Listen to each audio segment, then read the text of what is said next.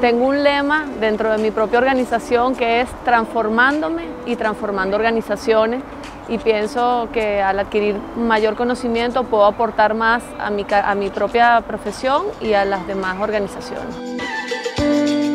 Destaco muchísimo la capacidad de síntesis de los profesores en las clases magistrales este, que nos daban un, bosquejo muy rápido eh, para entrar en materia. Estudiar una maestría online para mí representó muchísima disciplina, muchísima organización y muchísimo orden y sobre todo no perder el foco.